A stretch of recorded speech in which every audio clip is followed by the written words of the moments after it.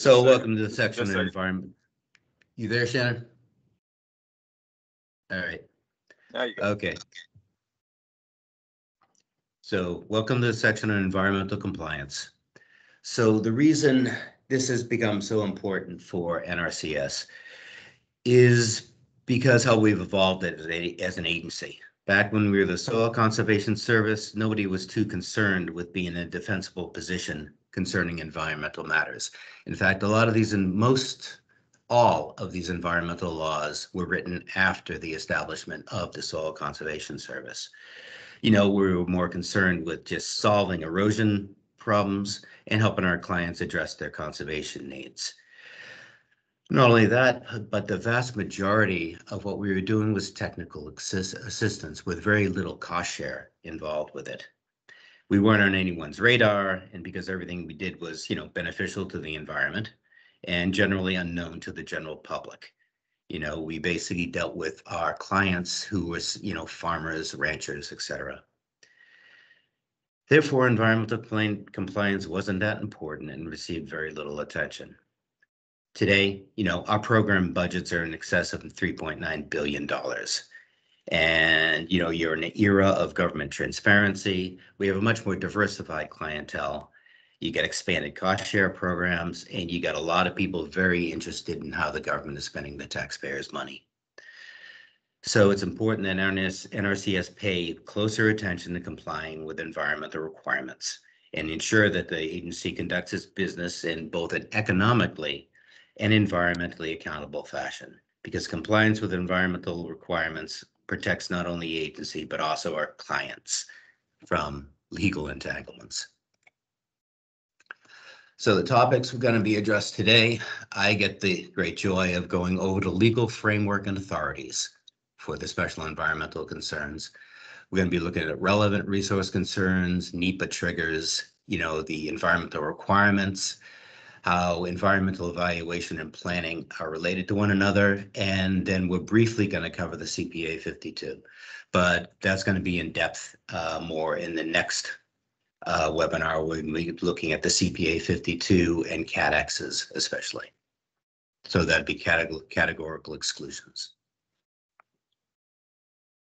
So I get to do civics 101. So the question is, who do you really work for? And I'd like somebody to, anyone in there to put it in the chat. Who are you working for? I mean, you're a member of the NRCS, you're a federal employee. You know.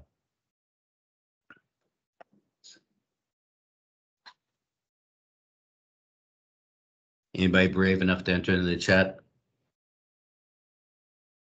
We have the public. The public, taxpayers, taxpayers? State of Indiana Department of Ag. Well, I guess that'd be somebody who's a guest, yeah. Mm-hmm. So we have taxpayers, the state of Indiana Department of Agriculture, which doesn't really cover the federal employees. And the, the general public, which is really kind of a, a nice way of thinking about it. But again, back to civics one oh one. The US government has three branches. You know, there's the legislative, which writes the laws, the ju- judicial that interprets the laws, and the executive branch that executes the laws that are written by the legislature. So in this sense, we are, at least the NRCS people on the uh, NRCS and FSA on the webinar, we work for the executive branch of the United States government because we don't write the laws and we're not interpreting the laws. So as a federal employee of the executive branch, you execute the laws passed by Congress. You know, you try to spend the taxpayers' money wisely and provide service to our clients. But we are working for the executive branch. So our clients are, of course, the farmers, ranchers, timber producers, et cetera, who are our constituents. So in order for NRCS to do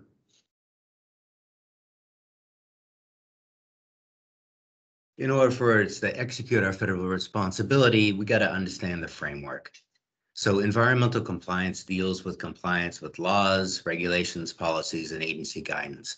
Right now, what law allows you to disperse funds for EQIP?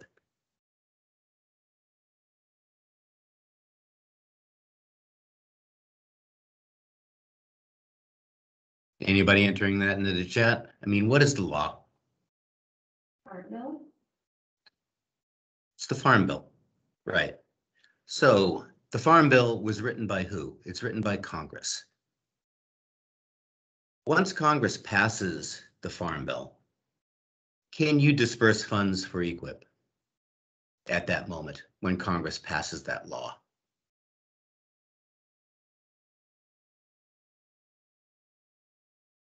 Anybody? Bueller? No, need regs. Say that again, Brianna?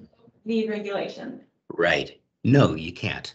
The law has been passed, but then there's the responsibility of the agency to write rules as to how you're going to implement that law.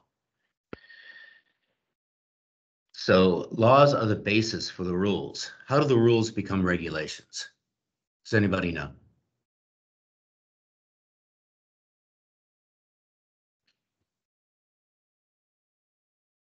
So Congress passes the Farm Bill. The NRCS or the USDA writes rules for that. Why is there then a gap between when the USDA writes the rules and we can start dispersing money? What's going on? We have through public review, needs to go through public review. Yeah, and you're quite correct. It's through public review. It's through the, uh, just lost it. The, what? CFR. CFR, Code of Federal Regulations. Yeah, the Code of Federal Regulations. So you, so the agency publi- publishes the rules. And then there's a certain period in which people get to comment on the rules. Anyone can comment on the rules. At which point the agency is supposed to take the commentary under advi, uh, you know, advisement, and then the regulation is published. And at that point, when you have a set of rules that have been ref- uh, reviewed within the Federal Register and published, it becomes a regulation. At that point, as far as the agency is concerned, the regulation is no different from the law. Because if you're violating a regulation, it's just like violating a law. So we know the law is what's passed by Congress. The regulation are the rules set out by the agency as to how they're going to administer the law passed for Congress. Policy. Is there any legal basis to policy?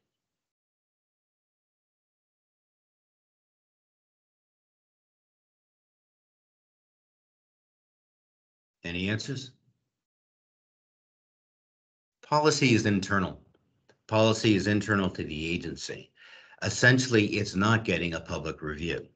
So that policy is then instructed to uh, field people through handbooks, instructions, and bulletins, how policy is communicated to, you know, the field. But policy itself is internal. So it doesn't have the same status as regulation and doesn't have the same status as law. So the NRCS has a large amount of authorizing legislation. The Soil Conservation Act was one of the first. Does anybody remember what year the Soil Conservation Act was passed in?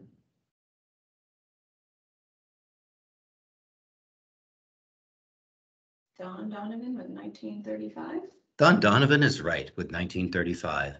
So as you can see, I mean, the legislation that authorized us as an agency far is forty years older than the environmental policies or the Historic Preservation Act that were passed in the late sixties and early seventies. So this is again where we have to adapt to the laws that Congress passes.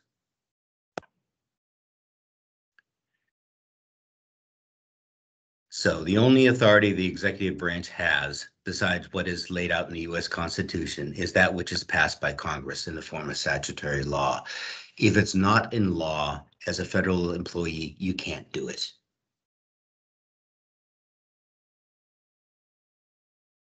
So laws both authorize and limit federal action. You know, if you can't find it in law, you can't really do it as a federal employee. So the rules and regulations. Basically, federal agencies write the rules in order to uh, service the, the law passed by Congress and explains how the agency is going to implement the law and its statutory duties. And at the point that it becomes, is reviewed in the combined federal register and becomes a regulation, it's basically the same as law to us.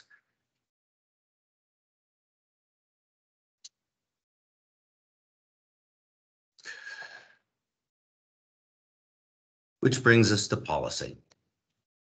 So at the field level, you, you're following agency policy. You're not looking at the regulations specifically. And that's the internal guidance that the agency generates.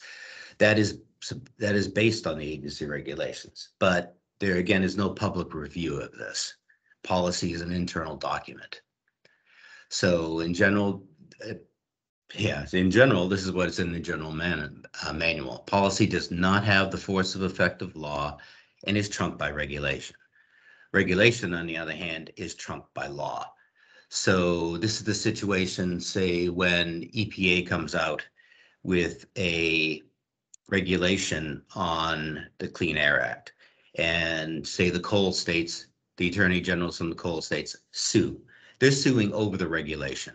So when they bring suit against the regulation, that goes to a judge, a federal judge, who will then look at the law and see whether or not the regulation is following that law. And so this is what happens when you get those major lawsuits where you get eight attorney generals from, say, coal producing states that is suing for a published regulation by the EPA. This very seldom happens to us, uh, but not for a good reason. Uh, so if you depart from your agency's policy, that is a ground for what's called an arbitrary and capricious finding.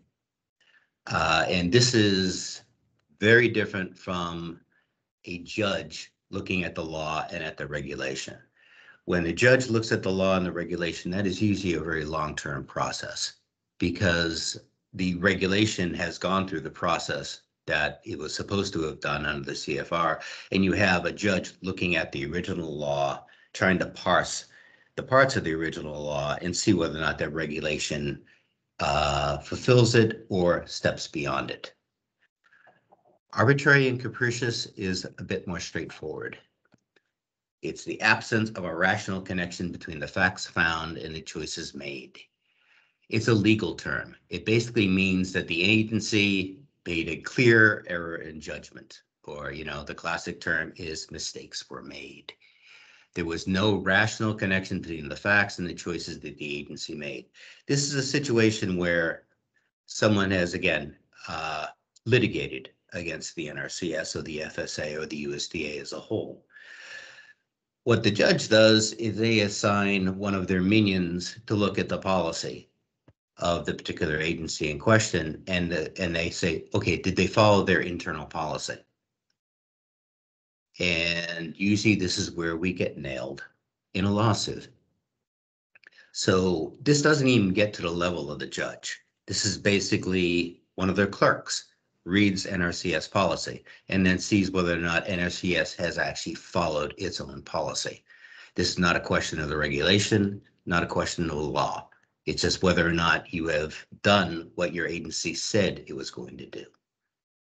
So arbitrary and capricious, considered a clear error of judgment. Uh, this happened.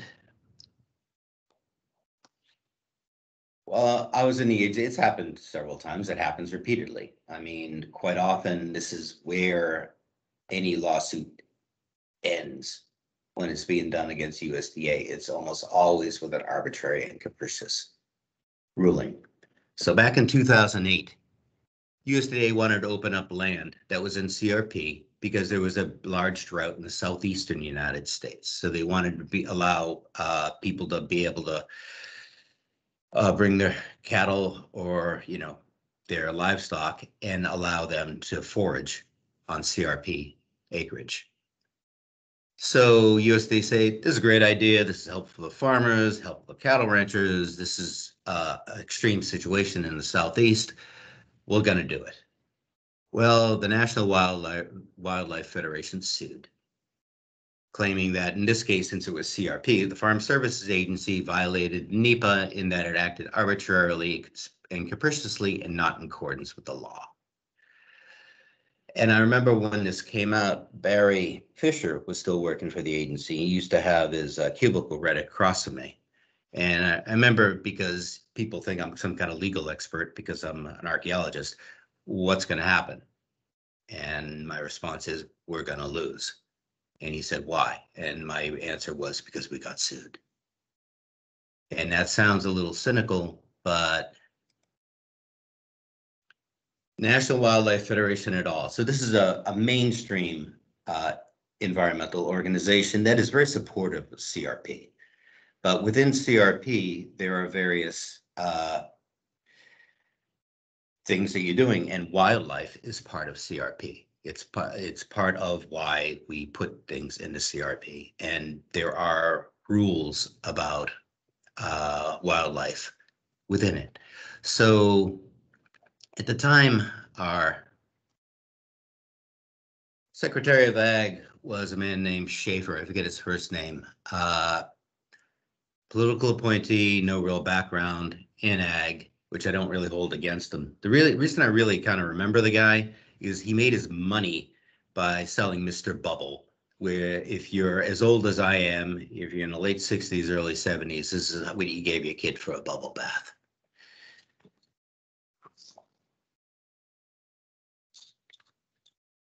So National Wildlife Federation had prepared environmental studies because when you're suing, you know, the agency, uh, you have to come up with, okay, what is being harmed? You got a study that says if you open this up to cattle raising, you're going to be harming certain wildlife that you shouldn't be doing with you having CRP. And they they had it the study done already because they were going to challenge the FSA analysis. Turns out that was totally unnecessary because there had been no FSA analysis. In essence, it was a political decision based on these are our clients. We're going to open it up to help our clients, but it totally ignored the fact that there were special environmental concerns embedded in the CPA 52 that you did for CRP, that you couldn't do it. So the judge immediately just issued a restraining order. I mean, this probably took all of 15 minutes. Said the USDA environmental analysis was a joke and described the USDA's, USDA's actions as breathtaking. And this guy is a, was a Reagan appointee. You know, conservative judge, it doesn't matter. If you're not following your own policy, it's a slam dunk. You don't get to stage two where they actually see whether or not you're matching the regulations. You haven't even followed your internal policy. Now, fortunately, it was the National Wildlife Federation who fully supports CRP. So nobody shut down CRP because of this, because they're perfectly willing to negotiate uh, that you've got to do the environmental study, you have to see what you're impacting. So what you have to remember about compliance is the process is what is legally required. Uh, it sounds funny, but it's not the result. You do consultation, you do the impact studies, if necessary, you do an environmental impact statement. In the end, if you provide reason why you can negatively impact the environment in historic sites if you go through the process and you supply a rationale as to why the project is worth the negative impact. In this case, drought relief for farmers. And this is true in ordinary circumstances. On the other hand, if you got a T&E species there that needs to be protected, or you got an historic site on the National Historic Register, you wouldn't be able to proceed with it. But that's the point, though. It is the process that is required. And about five years after this, they did the same thing in which they wanted to open up CRP acreage again for a drought. But this time they did the they did this impact study and they presented it to the various partners and they were able to proceed with this without being sued and without, you know, running the risk of you know, shutting down the entire program. So any questions at this point? Because Brienne gets to do the fun part now because I've gone through my civics lesson. So we're going to take just a five minute break in order for Brienne to shift over to her computer. And uh, thank you. Thank you.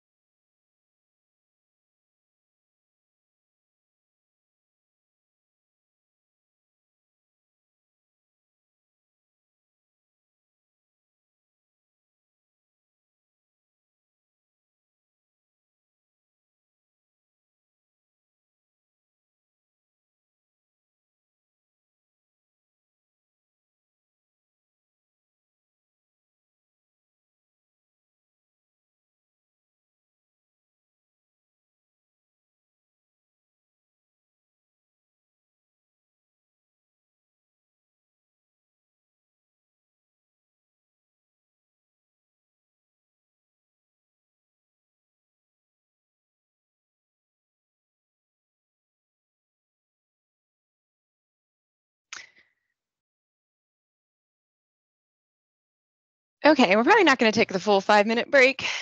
Well, just wanted to make sure we build in some time in here to transfer who was speaking.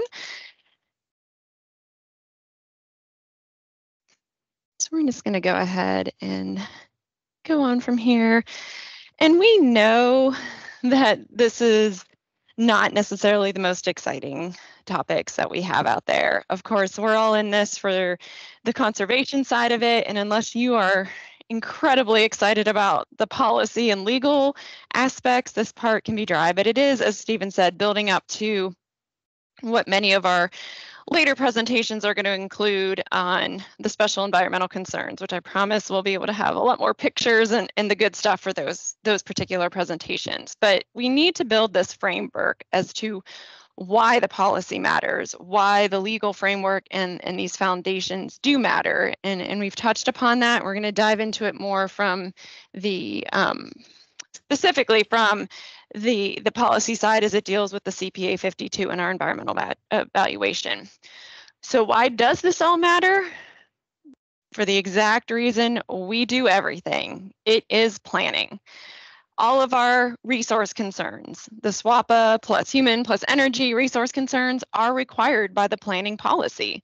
Special environmental concerns are required by various laws, regulations, or executive orders. So everything we do is linked to this concept of law, regulation, and policy that Stephen has gone over.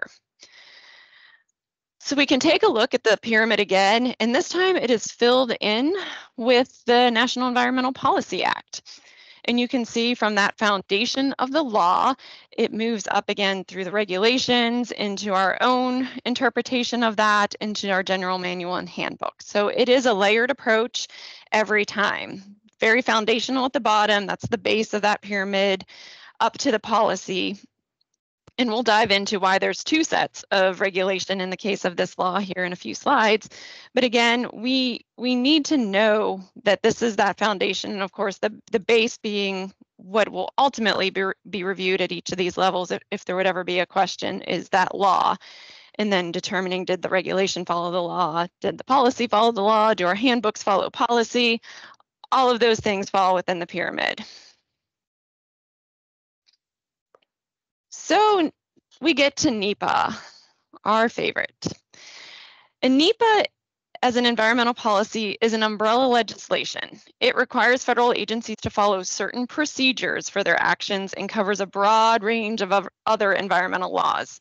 So as Stephen alluded to in some previous slides, it is a procedural act, meaning it only requires that certain procedures be followed, but does not dictate any particular result or outcome.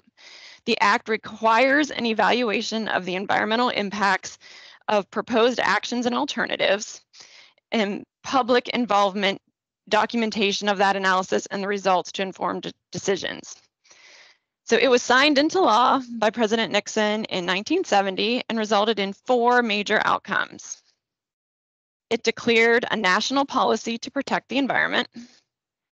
It created the Council on Environmental Quality, the CEQ, which is appointed by the president to oversee federal agencies' compliance with the act.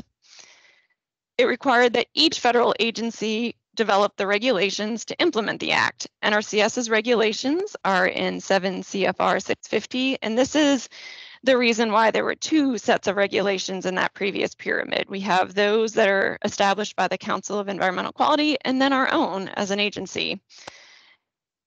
And then it required that federal agencies provide a detailed statement of environmental impacts for major federal actions significantly affecting the environment. So this is when we get into the joy of all the legalese that come with it, including this highlighted phrase, major federal actions significantly affecting the environment. What exactly does that mean and how does that apply to us? Note that NEPA only applies to federal actions. Mm-hmm. So let's break this down into what exactly is a federal action. A federal action equals federal control or responsibility. Anytime NRCS has federal control or responsibility, it is a federal action. This most obviously includes instances of financial assistance or the FA side of what we do, but it could include items we are not contributing financial assistance to, such as when we decide whether a pipeline may cross a WRE easement. Although we are not contributing funds, we have control over the outcome of that action. Providing technical assistance only is not a federal action because NRCS does not have control over whether the technical advice is implemented or control over the standards of implementation. And we are only talking in this instance about NEPA as the, the law. So we'll get into why we look at these, why we continue to do a CPA 52 for technical assistance in a few slides. But for this instance, when we're talking about the law itself, NRCS does not have control over the action, so technical advice is not part of the law. So next quiz, and you can place your selections in the chat. Which of the following on the screen are federal actions?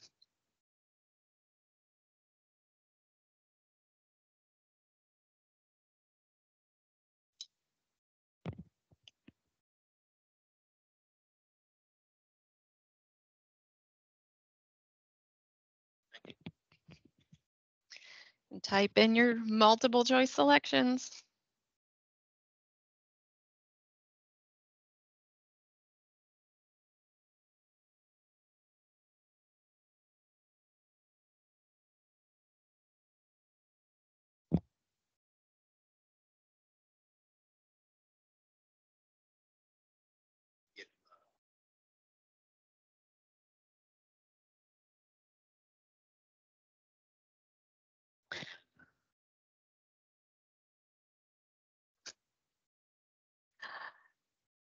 Okay, well, we had a lot of all of the aboves, but on the screen now, the green yeses are the actual federal actions. So let's walk through these um, one by one to understand why some of these are actually a no. So B, C, and E are yeses.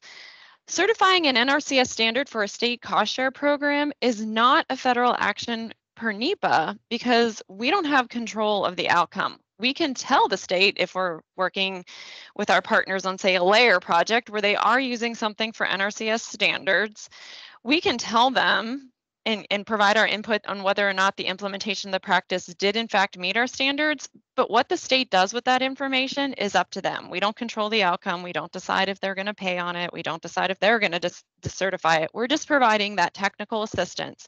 And again, we're talking about this from the NEPA side of things. Obviously, we went over um, or granting a WRP compatible use. That is a yes because we do control the outcome. We can tell the landowner whether they can and cannot do the practice and how they can do it. We discussed in the previous slide that FA payments are a federal action. Making an HEL or wetland compliance determination is not a federal action. It is actually us providing a technical determination. And from NEPA standpoint, we provide that information to the landowner, but what they do with it is up to them. They may still proceed with whatever action they were going to take. They may change their mind. It is up to them. We don't control that, so it is not a federal action according to NEPA.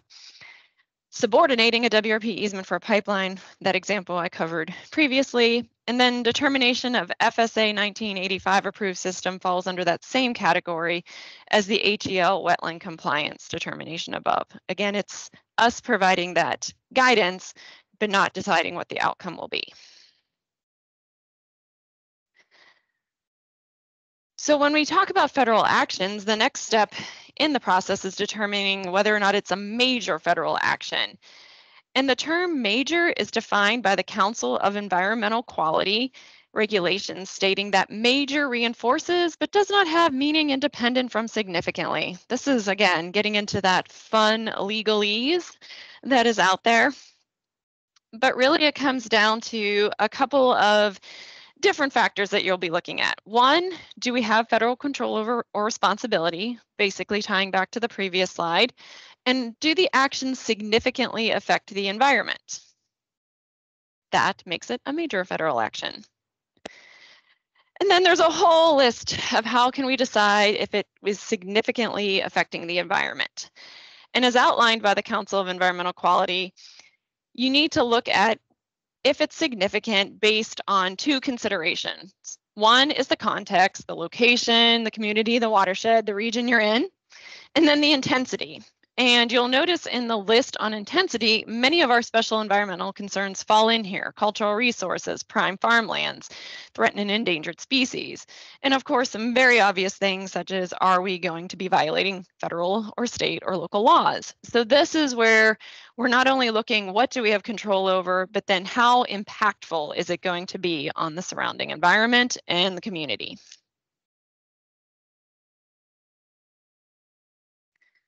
So here's an example, excuse me, of what of language that we would want to find on a CPA 52 or in a case file. So really what this comes down to is we know the CPA 52 doesn't have a lot of space, so you may have to document some of this information in the um, in your technical assistance notes, but def definitely reference those notes on the CPA 52. And as you're doing this documentation, you are going to be documenting how significant the action is. So let's take the example of expanding a spillover or spillway.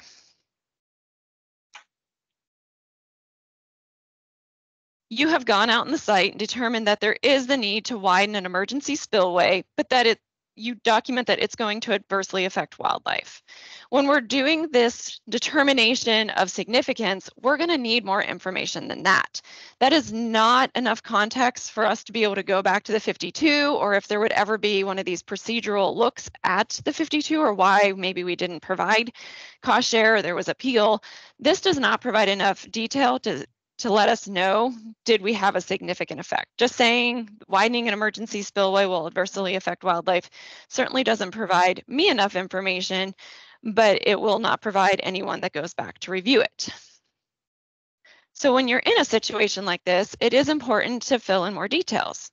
So you would want your assistance notes, or if you can somehow manage to fit it into the 52 box, which is, is pretty tiny, um, document what you're going to do, that you're widening a spillway from 120 feet to 186 feet, and this will result in the loss of 10 out of 15 of the last remaining loose bark trees in this riparian area. These clusters are known to provide maternal roosting sites for the endangered Indiana bat.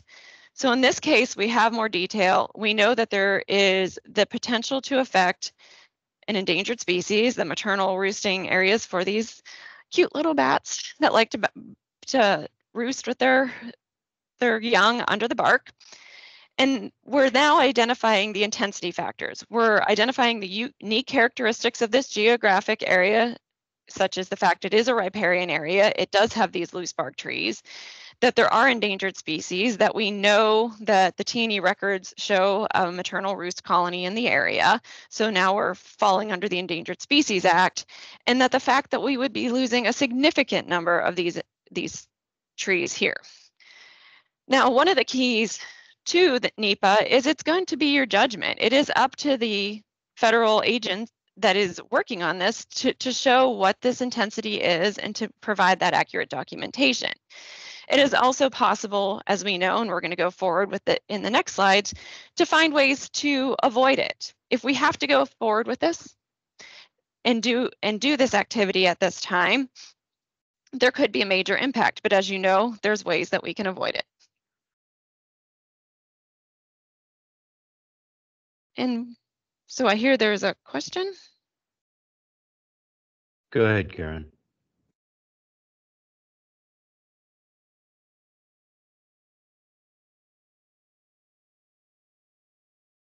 Uh, Karen, you're still muted if you uh, want to have a question. Your hand is up.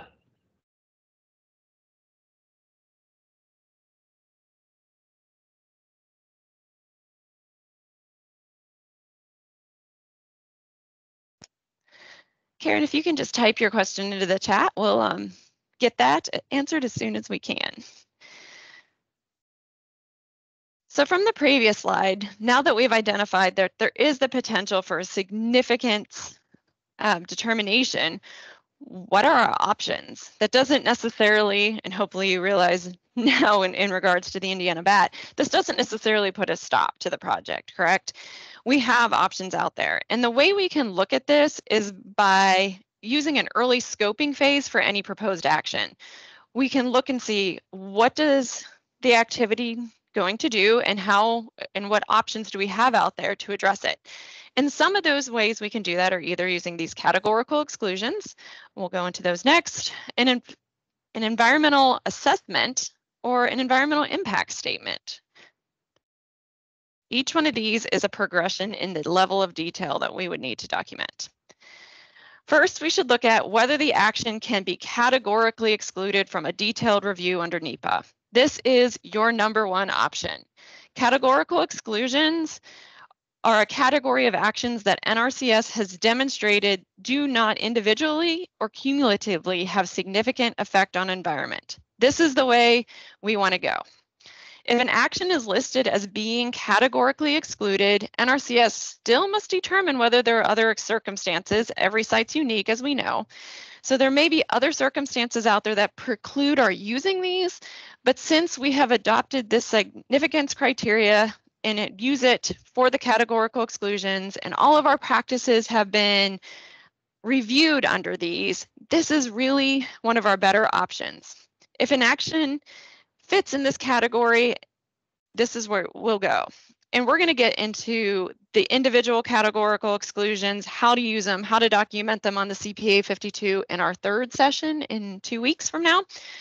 But again, this is the, the way and the route that we want to use because again, everything, most of our practices, all of our programs have been evaluated under some sort of document at a national level that allows us to use these in many ways. And the reason we want to go this way is because if an action cannot be categorically excluded, then we are going to the next level of detail. Examples of categorical exclusions are planting the appropriate herbaceous woody vegetation, plugging or filling an excavated drainage ditch, so those actions we take in a restoration process, implementing soil control measures on existing agricultural lands.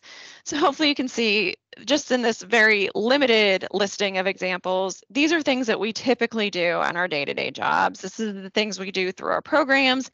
And ultimately, we have this firm basis for how to categorically exclude these and, and document it on the CPA 52.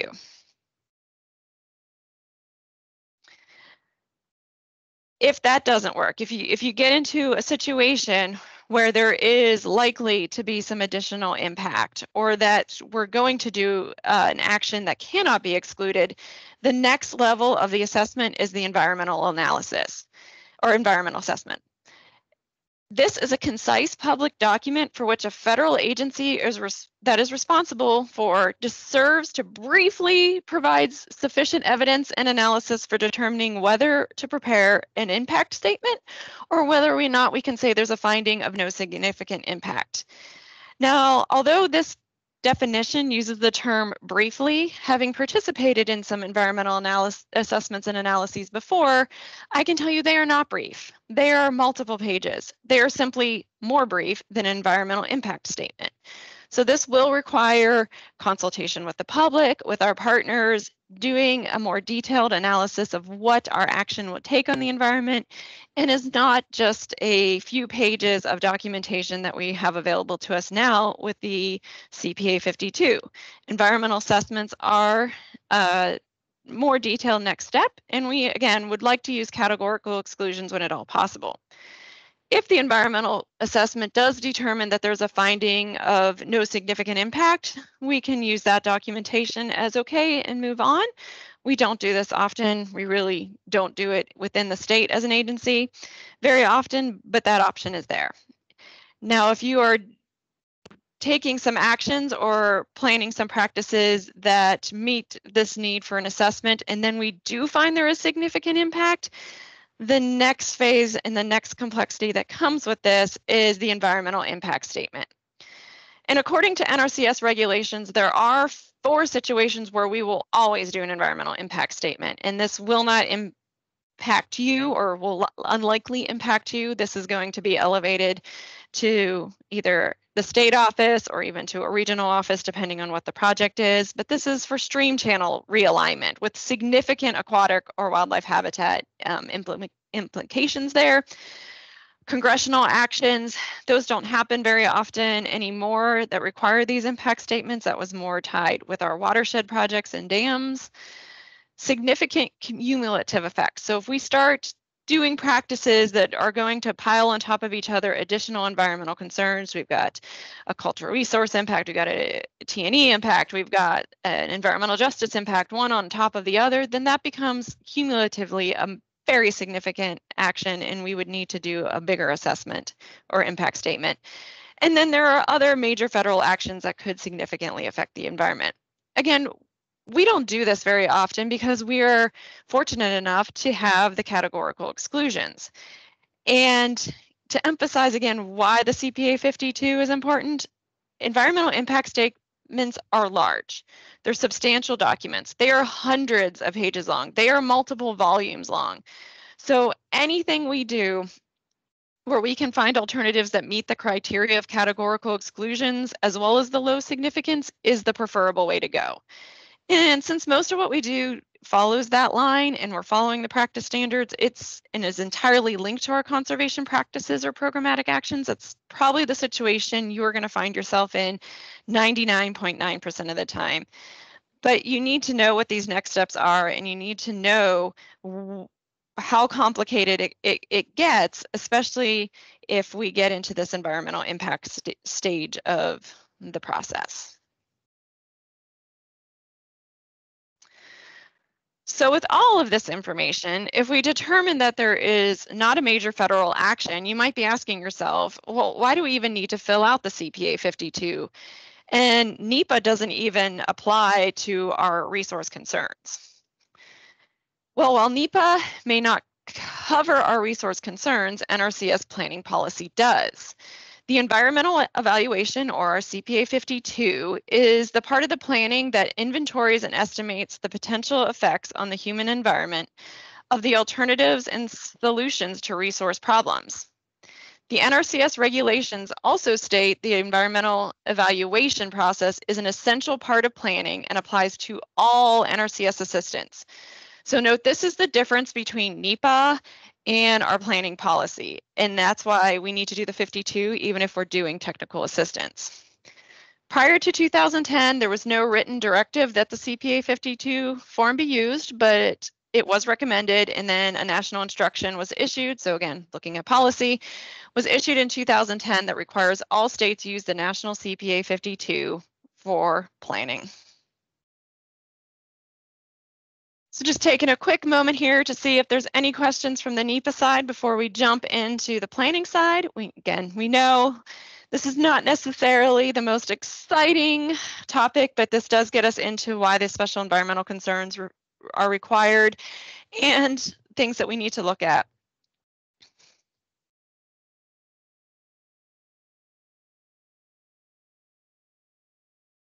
All right. Okay, how long?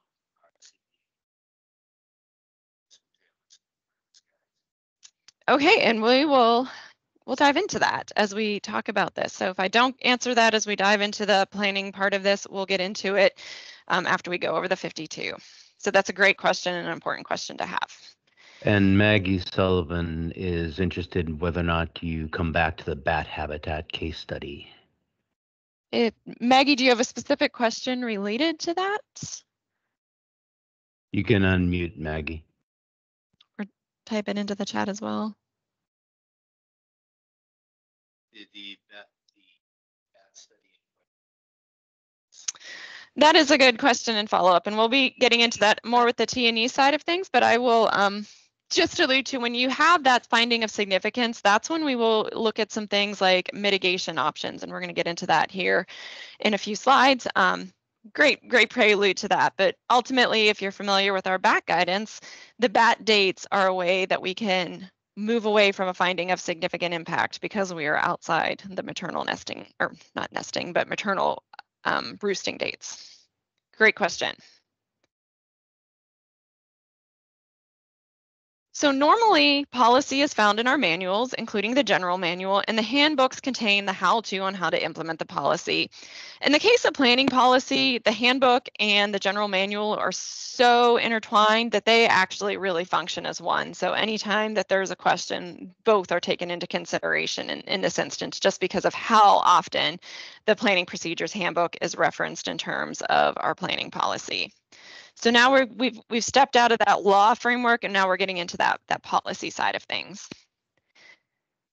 Federal law does require NRCS planners to consider the environmental consequences of recommended actions and to provide decision makers information on the actions that might significantly affect the human environment.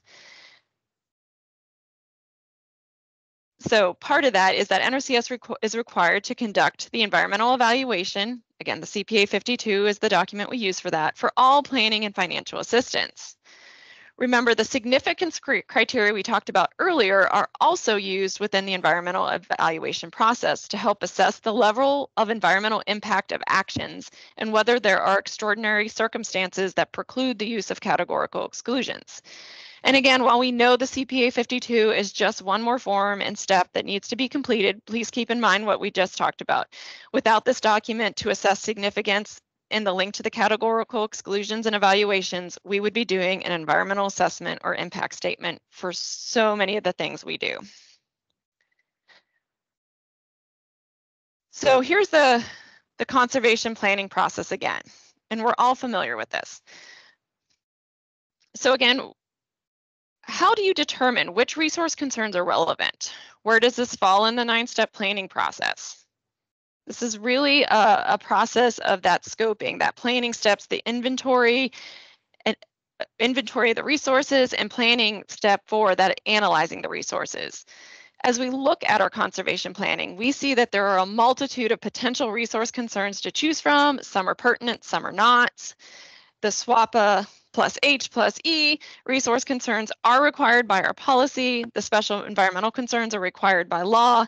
Scoping is the process that helps us ensure that the real problems are identified early and properly eh, decided upon and that the issues are of no concern so that we don't spend too much time or effort on, on these irrelevant concerns, but really focus on those that are important to our planning process.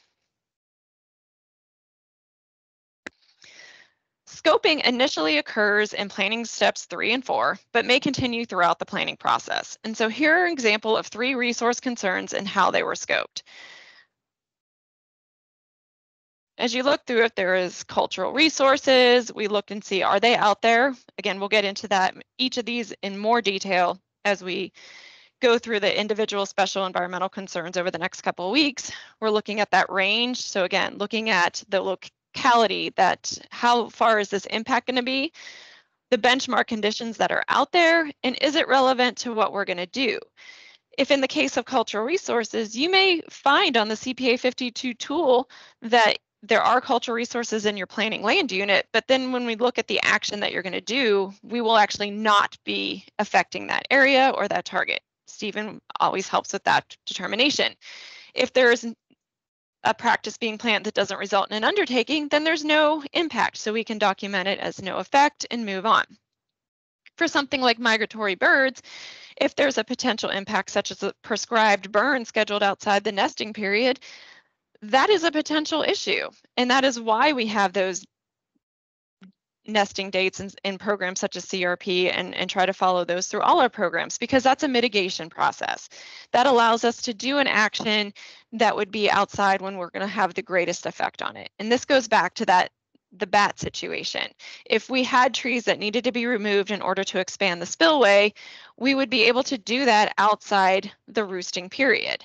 So for us, that, that falls into the winter months when the bats are in their hibernacula. Cutting down the trees at that time is not li likely to result in the take of a bat. And then there are other special environmental concerns that we look at as well in the back. And we're going to get into each of these in, in much more detail over the next couple of weeks. So really through that planning process, we're going to determine what resource concerns as well as special environmental concerns are out there. What is their range? What is the potential impact of our actions? And then determine is it going to be a relevant or is it not? And if it's not, then it's not a significant impact. Again, mitigation is a technique employed when an undesirable effect of an action is present and is used to abate those effects. It's usually a sequence process that that we can be that can be familiarly related to a practice we should all be familiar with, which is pest management. And so can anyone tell me or type into the chat what this acronym from our pest management practice stands for?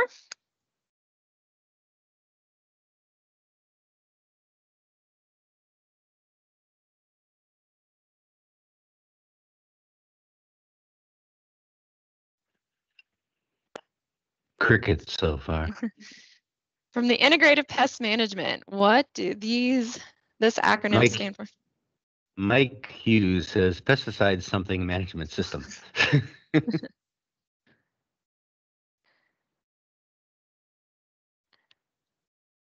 Well, my attempt to tie the legalese back to, to our practices uh, did not resonate. But for PAMS, we talk about prevention. Our Avo- Cambrin has prevention, avoidance, monitoring, and suppression. Yes, there we go. There we go. So we do have the prevention and avoidance. In this case, we're going to talk about minimizing when we talk about this with our special environmental concern. So either prevent the impact on the concern, avoid the concern altogether. If we can't minimize it, or ultimately the, the answer might be stop. That's not exactly straight up with the um, pest management side of things, but at least hopefully that ties it into what we're trying to do with that 52. Why, when you send things in to Stephen and I, we're going to provide some guidance into, well, if you change the practice implementation procedures in this way, then we are getting to that prevention or avoiding. If we cut down trees outside the best bat roosting season, then we're avoiding impact on the bat. If we are burning outside the nesting dates, we're avoiding the impact on the nesting or minimizing it. Sometimes birds do nest outside those dates, but it, we're really minimizing it. And if we know that there is absolutely no way that we can prevent, avoid, or minimize our impact to these special environmental concerns, then the answer ultimately may be stop. And sometimes that is okay, the case. So let's dive into the actual CPA 52. Indiana Bulletin 180 2006 from last year was issued to bring updates to the CPA 52 that became available in fiscal year 2020. A more detailed webinar was offered after its issuance, and I encourage you to go listen to that webinar. It was recorded. We're just going to touch on some highlights here that really lead into our next couple weeks of discussion. For NRCS and partner staff with SharePoint access, the document can be located from the homepage. We recently had the document locked down a little more, so you do need to download it to your machine. So always periodically check back for updates, but that way we cannot um, save our changes to the statewide option. So if you haven't downloaded it recently, or if you've had some bad luck with downloads in the past, I encourage you to go back and take a look at it again. From a general policy standpoint, these items haven't changed with the updated guidance, but are reminders of current policy that were restated with that bulletin release last year and associated with policy and guidance. Basically, any funded activity or where we've provided technical assistance or that is logged as a practice in NPAD should be assessed on the CPA 52. Even if a section is populated with not applicable, that's okay as long as that resource concern is not applicable. Please don't leave anything blank. So we, we don't want to necessarily have anything blank. Again, this is policy. We are supposed to be assessing all of these. There are laws again that require us to assess these. So make sure that you're documenting in each of the sections whether we've addressed or assessed that resource concern or the special environmental concerns. And you can go ahead and reference the other tools and case file documents as I stated earlier in the instance of the, the BAT issue this form is very small. Good luck um, if you tried to fit everything into those blocks, it, it, would be very difficult to read. So it is okay to reference the documentation in the CPA 52 tool, for instance, if when you run that. Um, if you have other assistance notes, go ahead and document those there. It is just, again, that overarching procedural document that how we document these things, and then they can reference other tools and resources we have out there. The form update did include the new resource concerns. Those are in the dropdown. And this was updated to match the national terminology. And it was also to update the resource concerns that were you can now find in CART. So these updates are out there. So again, hopefully everyone's using the new CPA 52 tool, but if you haven't, definitely get on SharePoint and download the more recent one. And recalling back to Jennifer's presentation on the field office technical guide, if you have curiosity about the resource concerns, definitely take a look under section three. There uh, is a detailed list of PDFs on the individual resource concerns, the updated resource concerns that were released. And this is a great way to talk with your landowners and some of our newer employees on what is out there. These are short, single page information sheets for each one.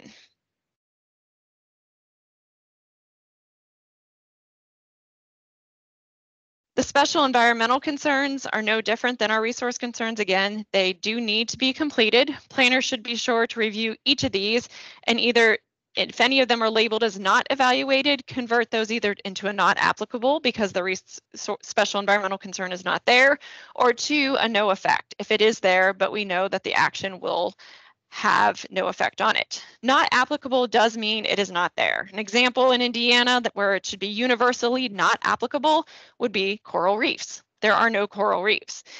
Believe it or not, there are parts of the state that actually do have coastal zone management, those that are in contact with the Great Lakes. So in that case, there's a very limited range where there that might actually be applicable and it would be more appropriate to write no effect if nothing we're doing is going to impact those coastal management zones. So no effect and not applicable are not interchangeable, and it is important on the 52 to document appropriately.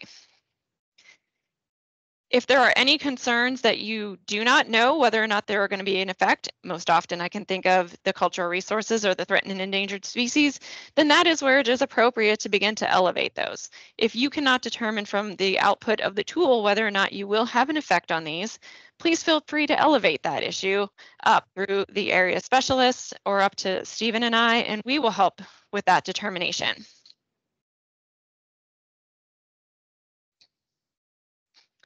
And really going back to this, if you compare the requirements of the environmental evaluation with the steps of the planning process, what do you find? The environmental evaluation does cover planning steps one through seven. Though the terminology may differ slightly, they're essentially the same. Documentation of planning outcomes satisfies the needs of the environmental evaluation and vice versa. If you do a thorough job of one, you'll automatically do a thorough job of the other. It's, it's not a separate process. So hopefully this is a good encouragement to, to use that CPA 52 tool for the planning process, not only so that we cover our basis from the policy and the legal and, and regulation side of things, but also from the process of getting good conservation on the ground. In summary, the environmental evaluation is documentation of the planning process. There are additional benefits to you as the planner, the agency, and our customers after completing these this process. Once the environmental evaluation and planning process is completed, the conservation planner has a comprehensive comparison of the impacts of potential alternatives, both positive and negative, on the resource concerns and knowledge about any permits the landowner may need, information about other issues that may require consultation with other agencies, such as cultural resources or endangered and threatened species, and in sharing this information with the landowner, the planner helps the landowner make this as an informed decision. Everyone will know what is needed up front. And although with something like technical assistance where we may not control the outcome, if the landowner is aware that there are potential threatened and endangered species or they're all cultural resources, then they can take the next steps to determine what they need to do from the legal and regulatory side of things. Just a reminder, today we went through the laws, regulations, and policy, how we go through those to decide what is an important resource concern to address, which ones are significant federal action versus major federal action, our regulations, policy, and guidance, and the CPA 52 and how that ties back to the regulations and policy and guidance. And if you're really excited about this topic, there are obviously the General Manual, the National Environmental Compliance Handbook, and the National Planning Procedures Handbook, all that answer this in far more detail. This week's going to be a little bit of a shorter presentation. I'm sure you're all disappointed by that. But as we dive into the special environmental concerns over the next two weeks, we're going to really get into how you make these significant determinations for each of those as along the way. But we wanted to provide this baseline framework up front so we all know where those laws and regulations are coming from and why we need to consider them. With that, does anyone have any questions? And Jennifer did put the link to the CPA 52 recorded training session in the chat. For those who haven't caught it. That's a great update and a more thorough covering of the CPA 52 itself. Al Tinsley has his hand up. Yeah, yes, as the other major source of bringing down regulation activities on everybody's head, I just wanted to point out that there's a whole different aspect to this. And that is when Congress starts the ball rolling with their legislation, they're not really giving any thought to uh, workload down at the field level.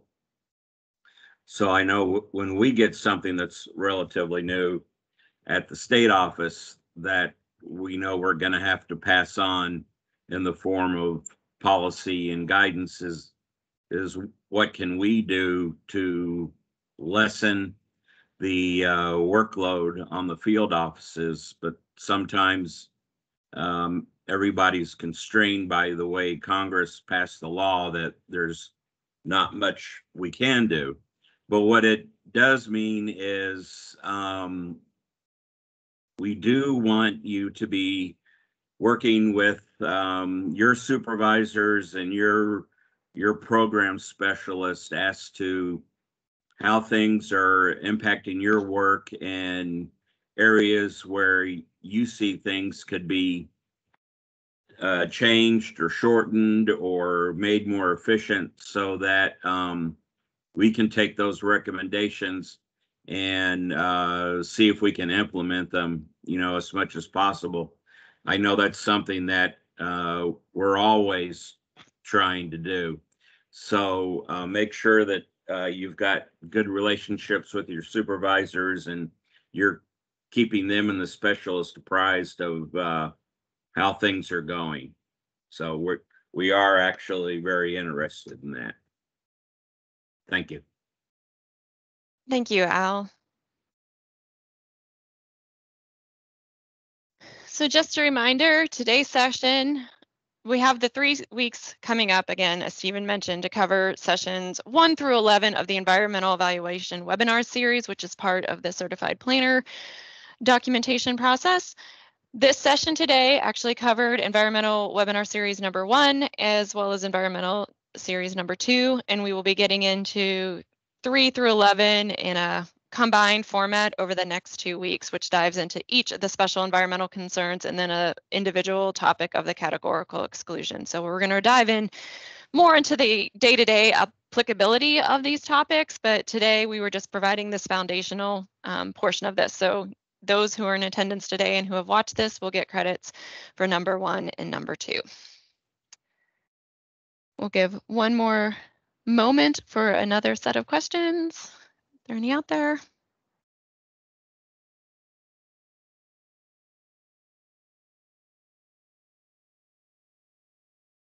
Nope, just a series of thank yous and we're going back to work. Sounds good to me. Well, thank you, everyone. We'll dive in again next week into some of the environmental concerns. And I promise you, when we get out of the law side of things, we can actually put pictures on the screen. So it'll be at least visually more entertaining. Thank you, everyone. Thank you. Good morning.